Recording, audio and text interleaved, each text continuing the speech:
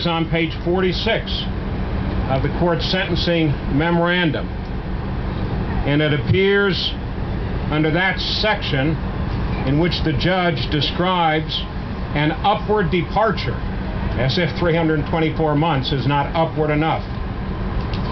Now, the judge, court, in this particular section, talks about providing an upward departure for, quote, extraordinary obstruction of justice, close quote, or due to the, quote, defendant's criminal conduct that the court has not already taken into consideration, close quote.